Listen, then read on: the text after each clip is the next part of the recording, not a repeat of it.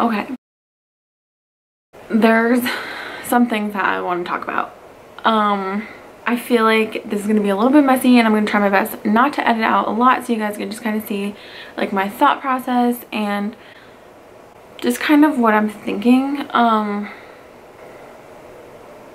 when I first decided that I wanted to get on social media, I didn't really know what I wanted to do with it and my original intentions were like to obviously be like a mom vlogger type deal which if you guys kind of look through my old videos you can kind of get that vibe. Um but I have recently made the decision that I feel like I have more to offer. I watched a lot of different body positive YouTubers like try on hauls which I have a, a lot of people that have inspired me to kind of get into this. But when I started to watch like these try on hauls that are like plus size try on hauls and follow different body positive Instagram accounts it really like made a difference in the way I feel about myself.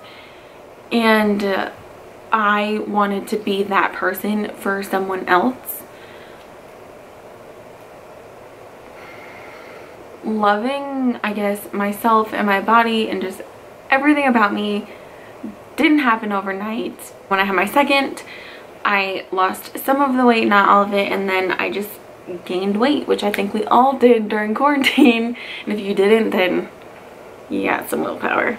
But, um, I just decided one day that I want to put myself out there and I posted this photo on my Instagram which I will leave up for you guys to see and it's honestly one of my favorite photos that I've ever posted. Um, it's not the most aesthetically pleasing photo I have ever posted. It is my favorite because for me it was just this huge turning point and just like this is me take it or leave it because I'm not where I want to be, but I'm not going to hate myself to that point, nor is that going to be productive for anything. And so I think recently I have just like, I, I don't make money on YouTube, which I feel like a lot of you guys know if you are on YouTube that you don't make money until you have at least a thousand subscribers and um, a certain amount of watch hours, which I don't have either. So everything I do on this platform is actually like costing me money technically since I'm doing like clothing hauls and I'm not getting paid for them and I'm spending my own money on them.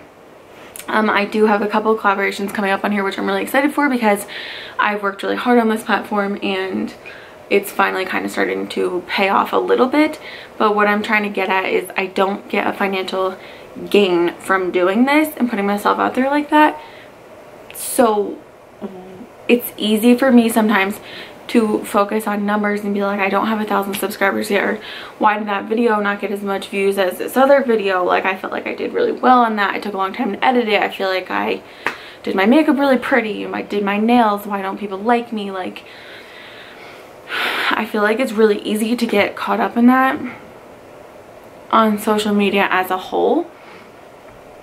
Um my Instagram is a little different because I do profit from my Instagram. So with YouTube, I don't. And I think it's easy, and I just shared this on my Instagram recently, that it's really easy sometimes to forget your why. And while some people, their why is like a financial benefit, like they do want to just do YouTube as like a stay-at-home type job and make money and stuff. But for me, that's not it um and I think for me, I do get focused in the numbers sometimes because not that I want to make money, but because it's like I want to impact more people and I'm like, I want more subscribers. I want more views because I want to influence more people. And I just, like I said, I just don't want to forget my why. And if you're on this platform and you're kind of starting to feel discouraged and think about your why, like why are you doing this? And use that. So for me, like I said, these plus size fashion bloggers and vloggers and Instagrammers, had such a huge impact on my self-esteem and my confidence and like I said I just want to be that for someone else and if I did that for even just one person or made one person just feel a little bit more confident then I feel like I'm successful in what I'm doing. yeah. I wanted to just put that out there and talk about it. So if you're ever watching one of my videos or if you're watching this video and you're like, wow, like I feel good or this is making me feel better or this is making me have more confidence, whatever, like let me know. For me, that is why I do this. And so it is nice to know if you are impacting someone. And maybe you don't have to leave it in the comments. Maybe you send me a message on Instagram, which so many people have. And so I just, yeah, I guess that's just really what I wanted to say is like I've sometimes have been kind of forgetting my why and focusing so much on numbers and and if you're doing that you need to stop because refreshing your YouTube 30 times a day isn't gonna get you subscribers. yeah, so this is my pep talk to myself. This is my pep talk to you. Yeah. Hopefully I've done that for you. And yeah. That's it.